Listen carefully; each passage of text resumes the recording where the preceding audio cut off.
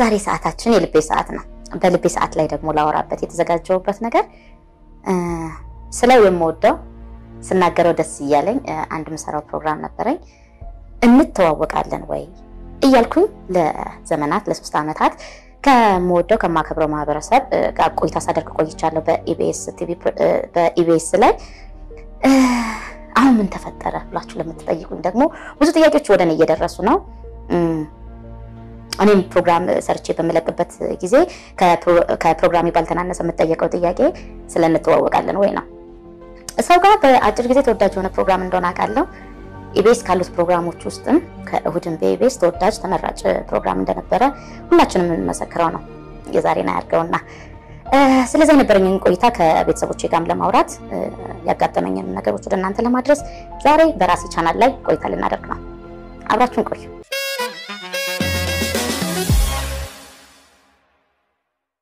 እዚህ ውስጥ ከገባሁ እንግዲህ እግዚአብሔር ይመስገን ዓመታቶችን አስቆጠርኩኝ ቆይቻለሁ። አንዳንዴ የመጀመሪያ የቲቪ ድራማዬን የሚወዱኝ ሰዎች ሲነግሩኝ 1996 ወይ 97 ላይ የመጀመሪያ character ኤን ሲያስታውሱልኝ ወይ ጉድ ዘመን እንደዚህ ሮጧል እንዴ እላለሁ። እዚህ ውስጥ ቆይ ብዙ ነገሮች ያጋጥማሉ። ብዙ መልካም ነገሮችን መጥፎ ነገሮችንም እያሳለፍኩ ነው እዚህ እየደረስኩት። ግን እግዚአብሔር ይመስገን ከመጥፎ ነገሩ መልካም ነገሩ እኔ ጋ ይበዛል። በሰዎችም ጋር በጥሩ ሁኔታ ደርሻለሁ። ብዙ አክብሮትና ፍቅርም ሲሰጠኝ ቆይቻለሁ። ዘመናት ሄዱ፣ ረጅም ጊዜ ሰራው ለማለት ነው። በዛ ሂደት ውስጥ ከሁለት ዓመት ከሶስት ዓመት በፊት ሞዶ ቻናል ነው ኢቢኤስ መዝናኛው ደስ ይለኛል እና አንድ ጥሪ ቀረበልኝ። ደስ ብሎኝ ሄድኩኝ። ዘመን ድራማን እየሰራው ነበረ። አንድ ፕሮግራም ሊያዘጋጁ እንዳሰቡ ተነገረኝ። የውጭ ፕሮግራም ነው። sample ኡን አሳዩኝ። ወደኛ እንዴት ይመጣል የሚለው ነገር ነው። አንቺ host እንድታደርጊው ነው የተፈለገው ሲባል ደስ ነው ያለኝ። ራሴን ብዙ ጊዜ ትወና ላይ ነው ያደረግኩት። እርግጥ ነው ሁሌ የምናገረው ጋሽ ጥላሁን ጉግሳ አለሙ ብዙ መድረኮችን ያስመራኝ ነበረ። ከዛ በኋላ ግን ብዙ መድረኮችን ሆስት አላደረኩም። ደስ ብሎኝ ነው የተቀበልኩት። እውነትም እግዚአብሔር ይመስገን ሰው ጋር ደስ በሚል ሁኔታ ደረሰ። ከዛ በኋላ ደስ በሚል ሁኔታ ከህዝቡም ጋር የህዝቡ ተቀባይም እንግዳም ይመጣል። በጣም ደስ ደስ የሚሉ እንግዶች ናቸው ወደ እኔ የሚመጡት። በጣም ከባድ ነው። በእኛ ሀገር ባህል ስለ ትዳሩ ስለ ቤቱ ለማውራት የሚመጣን ሰው በምን አይነት አቀባበል መቀበል እንዳለብኝ ለእኔ ትልቅ የቤት ስራ ነበረ። አብዛኛው ሰው ሲመጣ ደስ ይለኛል። የሚሰጡን አስተያየት ይገርምሻል ሀና ሚስቴ እንዴት እንደምትወድሽ ሚስቴ ደስ እንዲላት ብዬ ነው ዛሬ ይዣት የመጣሁት። surprise ያደረግኳት ሚስትን ባሏ እንዴ ባሌ እንዴት እንደሚወድሽ እነዚህ አይነት ስሜቶችን በመገላለጽ ነው ኢቢኤስ ስንሰራ የነበረ። እርግጠኛ ሽልማቱን ብቻ ፈልገውት ሳይሆን ይመጡ የነበረ ባል ለሚስቱ ሚስት ለባሉ ያለውን ፍቅርና አክብሮት እንዲናገር በአደባባይ ሊመሰክር ነበር እኛ ጋር እየመጣ ያለው። ሽልማቱን ፈልገውት መጡ ለማለት ለእኔ ይከብደኛል። ጥሩ ጊዜ ያሳለፍ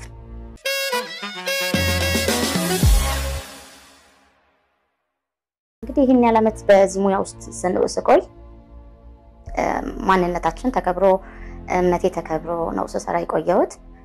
ግን ብዙ ጊዜ እኔ የምቀበለው ነገር አለ። አንዳንድ ካራክተሮችን ስጫወት ያልሆነውን ሁነን ነው። ተዋናይ ሲኮን ብዙ ጊዜ ያልሆነውን ሁነን ነው። በመልካሙ እንጀምር። እኔ የሕክምና ባለሙያ ሳልሆን ዶክተር ሆኜ ልሰራ እችላለሁ። ፓይለት ሳልሆን ፓይለት ሆኜ ልሰራ እችላለሁ። ሙያው የሚፈቅደው ነገር ደስ የሚለው ነገር ያልሆኑትን መሆን ይቻላል እና ነው። አንዳንዴም ደግሞ መጥፎ character ሲያጋጥም እምነቴ እንዲታይ አልፈልግም። ማተብ ማድረጉን ላልፈልግ እችላለሁ። ምክንያቱም character እህቷን ልትገል ወይ ባሏ ላይ ተንኮል እያሰበች አንገቷ ላይ ማህተብ አድርጋ እንድትታይ አልፈቅድም ነበርና ብዙ ጊዜ ፊልሞቼ ላይ ባላደርግ እመርጣለሁ። ብዙ ጊዜ እንደዚህ አይነት ነገሮች ነበሩ። ኢቢኤስ ስገባ ግን host ላደርግ ነው የገባሁት። ለምን ማህተቡ እንዳልተፈለገም አይገባኝም ነበረና ብዙ ጊዜ የተገላለጠ ልብስ ነው እየለበስኩ የሚሰራው። ብዙ host ስናደርግ ፕሮቶኮል የሚባል ነገር አለ፣ አለባበስ ምንም ምንም። ማህተብ ማውለቅ አለበት መውለቅ አለበት የሚባል ነገር መጣ። ለእኔ ከባድ ከባድ ከባድ ከባድ ሁኔታ ነበረ። ግን እንዳልኳችሁ ትወና ላይ ማተብ አውልቆ መስራት አለ፣ ያልሆኑትን ሁሉ መስራት አለ እና ለራሴ ያደረግኩት ነገር ምንድን ነው በቃ ሀና ይሄንን እንደ ሀና ሳይሆን እየሰራች ያለችው እንደ character ነው ላስብ እንደ character ነው። ብዙ ሞክሬያለሁ፣ ባይሆን ደስ ይለኝ ነበረ። ግን ለአስርም ለሀያም ለአርባም ደቂቃ ለአንድ ሰዓት ሜካፕ ክፍል ማህተቤን አውልቄ ገብቼ ስሰራ ቅር ይለኛል። የሆነ ራቁት የሆኑ ያክል ነው ማንነትን የጣሉ ያክል ነው የሚሰማኝ። ግን ስሰራበት የነበረው ነገር ነው። በዛ ሂደት ግን እኔ ሁሌ የምጠብቀው ነገር አንድ ነገር ነበረ። ብዙ ጊዜ ቤተክርስቲያን ማደጌን የቤተ ክርስቲያን ልጅ መሆኔን እናገራለሁ እና ከሰውም ጥያቄ ይመጣል ብዬ እጠብቅ ነበረ። አንድ ዓመት አለፈ። ሁለተኛ ዓመት መጣ። ያለኝ አማራጭ ምንድነው? በቃ እዚኛው ጋር ማተቤን ሳወልቅ ቢያንስ ዘመን character ላይ የማልወዳት character ላይ ማተብ ማድረግ አለብኝ ብዬ ዘመን ላይ እያደረግኩኝ ኑሮዬም ላይ እያደረግኩኝ ቀጠልኩኝ። ግን አንድ ቀን ወጥቼ የማይዋሽ ነገር አንድ ቀን ወጥቼ ማተብ እንደማይፈቀድልኝ እንደምናገር ቀን እንደምጠብቅ አውቀው ነበረ። እግዚአብሔር ደግ ነው። ቀኑ ደረሰ መሰለኝ። ሰላምዬ እግዚአብሔር ይስጣት ሰላም ወጣችና አደባባይ ላይ ስለ ማተብ የነበረውን ነገር ቅድማ ተናገረች። በዚህ አጋጣሚ በቃ ምክንያቱ ነሻል ሰላምዬ፣ በድፍረት መናገርሽን ማመስገን እፈልጋለሁ። ከባድ ነገር ነው የመጣው ከዛ በኋላ ማህበረሰቡ ጋር ያየሁት ነገር ደስ የሚል ነገር ነው። ምን ያህል ለእምነታችን ተቆርቋሪ እንደሆን ምን ያህል የእምነታችን ነገር እንደሚያቃጥለን ያየሁበት ነገር ነው። የተነሱት ነገር ሁሉ ልክ ነው። ለምን ተናገራችሁኝም አልልም። ለምን ያ ሁሉ ስድብ መጣም አልልም። እንኳን ሰደባችሁ፣ እንኳን ብዙ ተባል። አውልቅ ያለው እውነት ነው፣ አልካድኩም፣ አውልቅ ያለው ግን ያ ስድብ በመምጣቱ ያ ሁሉ ማዕበል በመምጣቱ ግን ለእኔ ደስ ያለኝ ነገር ትልቁ ነገር ምንድን ነው? ከዚህ በኋላ ማንም ማተብን አውልቅ ብሎ እንደማይናገር እንደማይደፍር አመንኩኝ። የእናንተ ጩኸት የእናንተ ንግግር ከአንዳንድ ሀና ማተብሽን አድርገሽ ወደ ስቱዲዮ ግቢ የሚል ነገር መጣና በጣም ተደሰትኩኝ። ስራዬን ወደዋለሁ፣ አከብረዋለሁ። ደስ ብሎኝ ተመለስኩኝ፣ መስራት ጀመርኩኝ። ከዛ በኋላ ግን የማህተሙ አድርጌ ከጀመርኩ በኋላ አሁን እየገባኝ እንዳለው በጊዜው ነገሩን ማብረድ ስለነበረብን ህዝበ ክርስቲያኑ ተነስቶ የነበረው ማዕበል ቀላል ስላልነበረ ማተብ አድርጌ እንድገባ ተደርጓል። ከዛ በኋላ ሁለት ዓመት ስሰራ የነበረበት ነገር አንዳንድ ልጠየቅ የማይገባቸው አንዳንድ ጥያቄዎች ወደ እኔ መምጣት ጀመሩ። ሁሌም ለምን የሚል ጥያቄ ውስጥ ያለ ለምን ያን ያህል አልጠየቁኝም? ለምንድን ነው አሁን ይሄ ነገር እየመጣ ያለው እያልኩ ሳስብ ውጣት በለው እንዲወጣ አድርገው አይነት ነገር እንደጀመሩ ገባኝ። ማለት የማይገባቸው ነገር ናቸው ወደ እኔ እየደረሱልኝ የነበረው። ግን ስራዬን አክብሬ እየሰራው ነበረ። እንግዳም እየመጣ ነበረ። በመሀል ሳይነገረኝ ፕሮግራሙ ቆመ። ሶስት ወር ሙሉ የቆመበት ምክንያት ምንም የተነገረኝ ነገር የለም። የጠየቁኝ ጥያቄ አለ። ያን ጥያቄ ማድረግ እንደማልችል መልሼላችኋለሁ። ስለ ዩቲዩቤ ህግ ክፍሎቹ ጠርተው አናገሩኝ። ዩቲዩቤን ደግሞ እኔ የከፈትኩት ከአለቃዬ ጋር ተማክሬ ነው። መክፈት እንደምችል ተፈቅዶልኝ ነው ኢቢኤስ። ዩቲዩቤን ከከፈትኩ በኋላ ግን ስለምሰራውን ፕሮግራም ሊመርጡልኝ ነው የፈለጉት። ያ እንደማይሆንም ደግሞ መልሼ ነገርኳቸው። ለምን ዩቲዩቤ ላይ ካለው content ውስጥ አንዱ የልቤ ሰዓት ነው፣ አንዱ የባለንጀሪ ሰዓት ነው። የተለያየ content አለ እና የመለስኩላቸው ነገሮች ለእኔ ልትመርጡልኝ የምትችሉት እንተዋወቃለን ወይ ላይ ቆሜ ስለምናገረው ብቻ ነው። ስለምሰራው ስራ ግን በዩቲዩቤ ቻናል ላይ ምንም አይነት አስተያየት መቀበል አልፈልግም ብዬ መለስኩኝ። ምንም ሳይነገረኝ ፕሮግራሙ ቆመ። ለምን የሚለውን ነገር እንግዲህ መልሱን ለእናንተ ነው የምሰጠው። ሶስት ወር ወደ አራተኛ ወር እየሄድኩኝ ነው። ምንም የተነገረኝ ነገር የለም። ህግ ክፍሎችም አልደወሉልኝም። ከማኔጅመንትም ምንም የተደወለልኝ ነገር የለም። ከአዘጋጅም የተደወለልኝ ነገር የለም። ስራው ቆመ። በዛ ሂደት ባለበት ጊዜ ምናልባት ማተቤን ላያዩት ነው ብዬ አደባባይ ወጥቼ ለመናገር አገሬ ሰላም አልነበረችም። ጥቅምት ላይ ከባድ ነገር ነበር ሀገራችን ላይ። እስካሁን ነገሩ አልተስተካከለም። በዚህ ሂደት እያለ ነው እንግዲህ አንዳንድ ሚዲያዎች ይኑሩ፣ መልካም ነው። በጣም ደስ የሚለኝ ለምን ብሎ የሚጠይቅና ሀሳብ የሚያነሳ ሚዲያ ሲኖር ቢያንስ የአንድን ተጎጂ እውነት ያወጣዋል ብዬ አስባለሁ። እኔ ዝም ብዬ ነው የተቀመጥኩት። በእኔ ቻናል ላውራው ምን ልበል እያልኩ እያሰብኩ ባለበት ጊዜ ሀና ለምን ለቀቀች የሚል ነገር መምጣት ጀመረ። ሹክሹክታም የሚገርም ነገር አውጥቷል። መረጃ ጥሩ መረጃ ደርሷቸዋል ብዬ አስባለሁ። እኔ ልናገራቸው እችላለሁ ብዬ ያሰብኳቸውን ነገር ወደ ህዝብ ያደረሰው። ሳላመሰግን አልቀርም።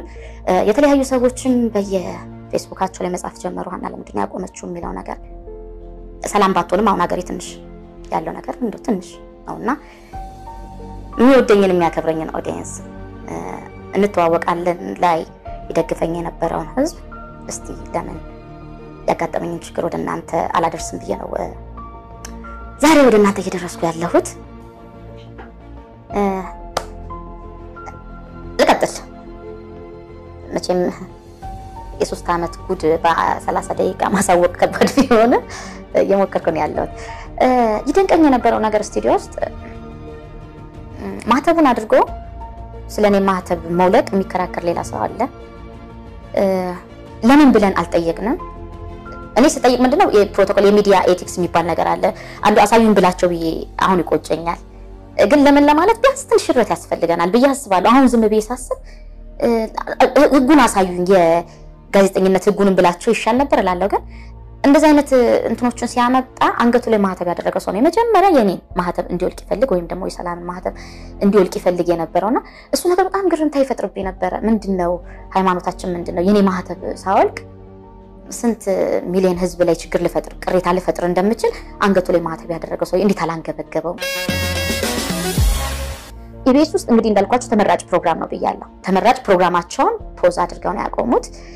ከወጣ በኋላ ቅድም እንዳልኩት ሚዲያዎች እንደዚህ ነገር ሲመጣ እንነጋገር የሚል ነገር መጣ። እኔም እስካሁን አላወራችሁኝም፣ ዛሬ መነጋገር ለምን አስፈለገ የሚል ጥያቄ ነው መጀመሪያ ያቀረብኩት። ጥሩ ተመልሶ መነጋገር ጥሩ ነው፣ ማቆምም ከሆነ እንዴት ማቆም አለብን ወደሚለው እንትን አለና በቀጠሯችን ተገናኘን። ከአንድ ከሚመለከተው ሰው ጋር ብቻ ነው የተገናኘሁት። ሌሎቹ ለምን ላላከበረኝ ሰው ክብር ሰጥቼ መነጋገር አልፈልግም። ለምን ፈልገው ነው ሙያዬን አክብረው ነው የጠሩኝ።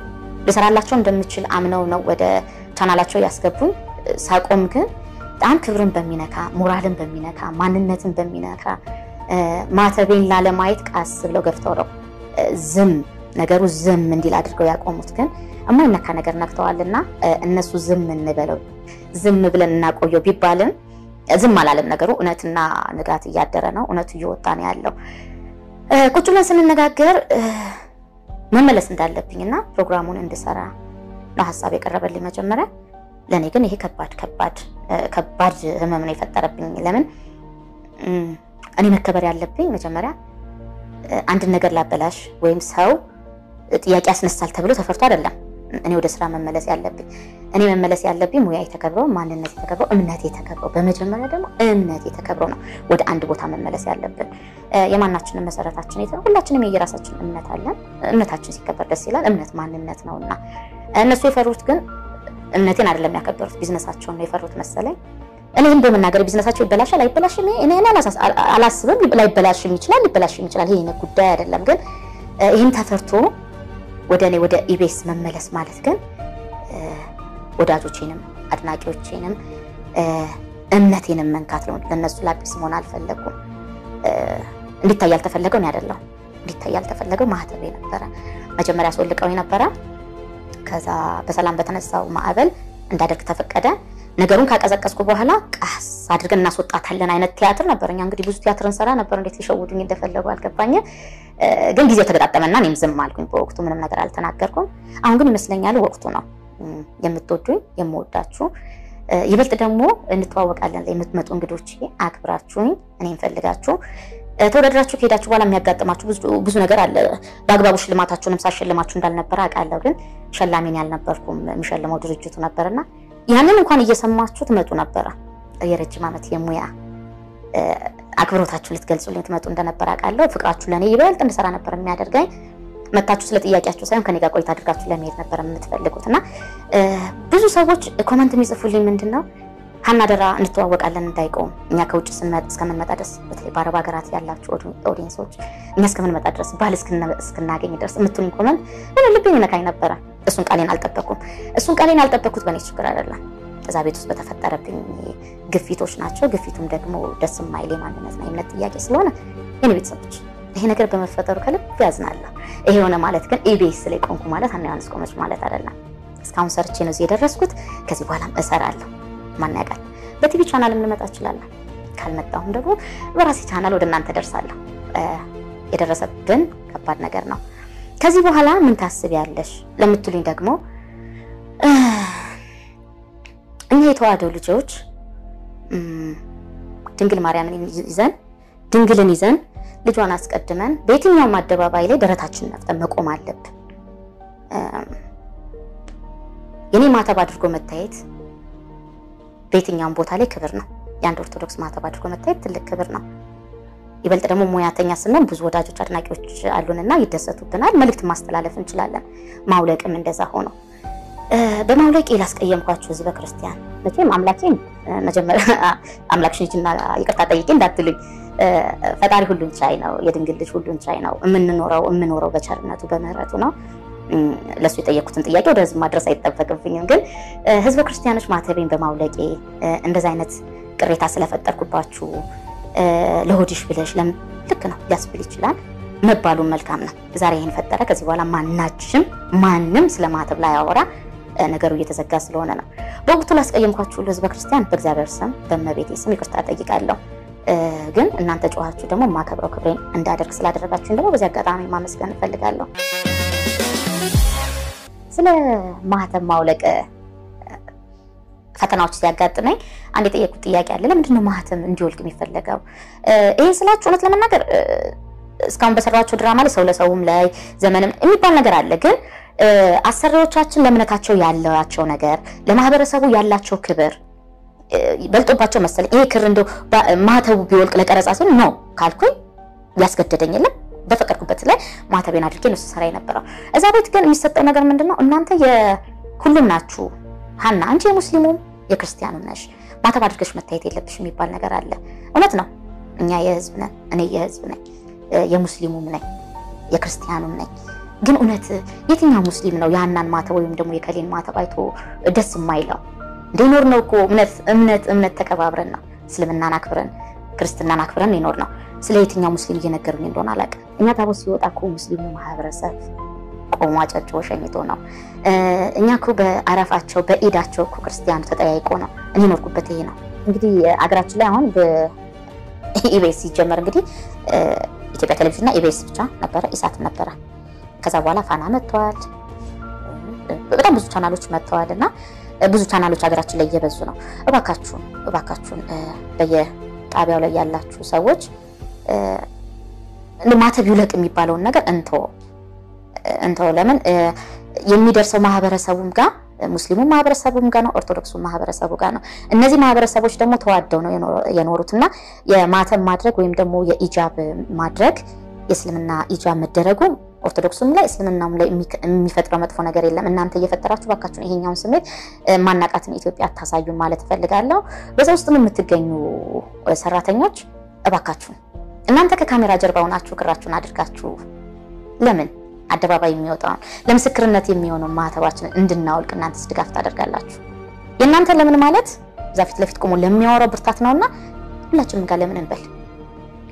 ለምንንስ ለምን አመጣው ጭራሽ አትበሉ። በቃ በየሚዲያው ያላችሁ ሰዎች ባካችሁ ማህተባችንን ተዉት፣ እምነታችንን ተዉት፣ ስራችንን ሰርተን እንኑር፣ ወደሚወደን ህዝብ እንድረስ ማለት እፈልጋለሁ።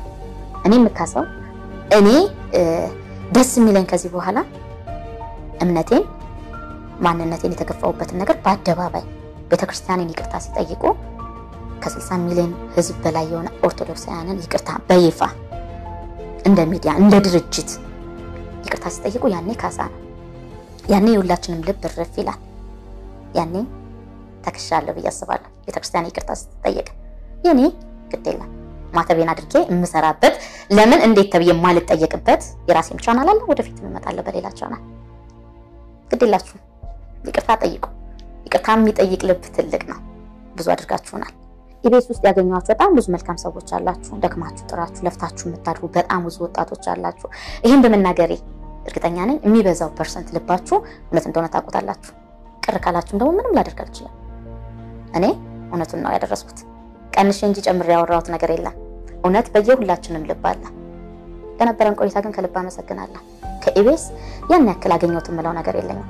ግን መልካም ሰዎች፣ መልካም ሰራተኞች አግኝቻለሁ። ጥሩ ወንድሞችን አግኝቻለሁ። የሰጡኝ ምክንያት አሳማኝ እንዳልሆነ አሁንም እንዲህ በአደባባይ ለመናገር እፈልጋለሁ። ሌላው ብዙ ብዙ ቦታ ላይ ማስታወቂያም ላይ በቅርቡ ያጋጠመኝ ነገር አለ። አንድ ማስታወቂያ ሰራሁ። ማተቤን አድርጌ ነው ማስታወቂያ የሰራሁት። ይሄ ነገር ከተፈጠረ በኋላ ትልቅ company ነው። ወደፊት አስፈላጊ ከሆነ አወጣለሁ ማን እንደሆነ። ማስታወቂያ ያሰራኝ ድርጅት ክርስቲያን ነኝ የሚሉ ናቸው። ማተባቸውን ያደረጉ ሰዎች ናቸው። በየኢንስታግራማቸው በየፌስቡክ ስለ ገዳም ስለ ቤተክርስቲያን የሚናገሩ ሰዎች ናቸው። ግን ማስታወቂያው ከተቀረጸ በኋላ አየር ላይ አልዋለም። በጣም ገረመኝ። ምንድን ነው ከፍለውኛል፣ ብር አላስቀሩብኝም፣ ምንድን ነው አየር ላይ ያልዋለው ብዬ ፕሮግራሙን direct ያደረገ ግለሰብ ጋር ደወልኩና ምንድን ነው ማስታወቂያውማ ወይ ስራ ለቅቄያለሁ እኮ እንዴ ምን ምን ተፈጠረ? በአንቺ ጉዳይ በማተብሽ ጉዳይ እንዴት ማህተብ አድርጋ ትሰራለች ተብሎ ከፍላችሁኝ እና የማህተቤ ጉዳይ ነው ከስራ እንድታቆም ያደረገ ስላሁን ሀናን ማህተቧን አውልቂ ማለት እኔ አልችልም ብዬ ስናገር ስራውን ማቆም እንዳለብኝ ተነገረኝ። ስራዬን አቁሜያለሁ። እኔ ለምን ግን እንደዚህ ሀሳብ አላቀረብሽልኝም? እኔ ኦርቶዶክስ ነኝ፣ ያንቺን ማህተብ ፍቺ ልል አልችልም ያለችኝ እና ቀናውባት። ይሄ ማንነት ሁላችንም ውስጥ ቢኖር አይ ብንል አውልቁ የምንባል ሰዎች እኔም ግለሰቡም አታድርግ ባዩ መልእክት አስተላላፊውም ለምን ብለን ብንጠይቅ መልካም ነበረ። ስላለፈው ይቅርታ ጠይቄያለሁ። ከዚህ በኋላ ባለው ነገር ግን ይበልጥ ኦርቶዶክሳውያኖች መጥበቅ አለብን። አይ ለምን ማለት አለብን። በአደባባይ ቁመን መናገር አለብን። እኔ ይህን ሳይን ወስጃለሁ። ግራ ላጋባዋችሁ በየገዳሙ በየቤተክርስቲያኑ ሲሄድ የምታገኙ ሰዎች ለምንድን ነው ማተብሽን ዛሬ ማታ መልስ ስላልነበረኝ ነው። ለሁሉም ጊዜ አለ። ጊዜውን ጠብቆ ዛሬ የምናገርበት ቀን ላይ ደርሼ ችግሬን ተናግሬያለሁ። ችግሬን ከይቅርታ ጋር ወደ ኢቢኤስ የማልመለስበትም ምክንያት ሺህ ጊዜ ስራዬን በወደው ሺህ ጊዜ ሙያዬን ባከብረው ከዚህ በኋላ ወደዛ መመለስ ማለት አዎ ኢቢኤስ ሃይማኖት ላይ ተጽዕኖ አያደርግም ወደሚለው እሳቤ መልሰኛልና ነው። እኔ ተጽዕኖ ተደርጎብኛል። ተጽዕኖ ፊት ለፊትም ከጀርባም ግፊ ነበረኝና የኔ ቤተሰቦች እንተዋወቃለን ወይ የሚለው ፕሮግራም ከኢቢኤሶች ጋር ባለመተዋወቅ በእነሱ ግፊ እዚህ ላይ ደርሰናል። እግዚአብሔር ይመስገን። እንኳን ዩቲዩቤን ከፈትኩ፣ እንኳን የልቤን ሰዓት ማወራበት ነገር ወደ ህዝብ እንኳን ደረስኩ። አትራፊ ነኝ። እናንተ እስካላችሁ ድረስ ፕሮግራሜን እሰራለሁ፣ ወደ እናንተ ደርሳለሁ። በተሻለ ቻናልም ልመጣ እችላለሁ። የእግዚአብሔር ፍቃድ ይሁን። የዛሬን እዚህ ጋር ላብቃና እስኪ በሚቀጥለው ነገር ደግሞ እመጣለሁ ብዬ አስባለሁ። አገሬ ሰላሞች ብዝት ይበል። እንሰራለን፣ እንኖራለን። ጤና ነው፣ እድሜ ይስጠን ለሁላችን። ቸርን ሰንብት።